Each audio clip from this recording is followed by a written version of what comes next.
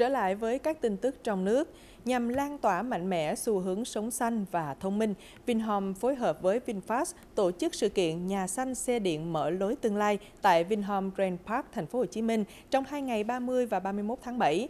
Khách hàng tham dự sự kiện sẽ được lái thử bộ đôi ô tô điện thông minh VinFast VF8 và VinFast E34.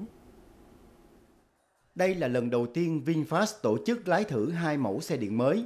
Những dòng xe khai mở kỷ nguyên xe điện thông minh tại Việt Nam, sở hữu thiết kế thân thiện với người dùng và được trang bị các công nghệ thông minh vượt trội trong phân khúc. VF8 sở hữu thiết kế hiện đại, định hình bởi triết lý cân bằng động cùng những công nghệ thông minh và hệ thống trợ lái nâng cao tiên tiến. VinFast đã đón nhận 25.000 đơn đặt hàng VF E34 chỉ sau 3 tháng mở bán và gần 1.000 ô tô điện VF8 được đặt hàng sau 2 ngày tổ chức lái thử tại Hà Nội vào tuần trước. Thứ nhất là tay lái nó nhẹ, với lại là cách âm ngồi đằng trước khá ok.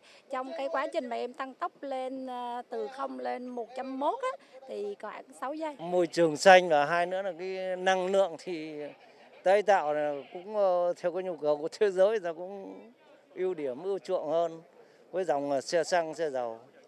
Vinhome cũng đã triển khai chương trình gửi tặng voucher mua xe ô tô điện đối với chủ sở hữu căn hộ thấp tầng cùng nhiều ưu đãi. Sự kiện này nhằm lan tỏa mạnh mẽ lối sống xanh, thông minh đến cư dân Vinhome và cộng đồng, góp phần kiến tạo tương lai xanh bền vững tại Việt Nam.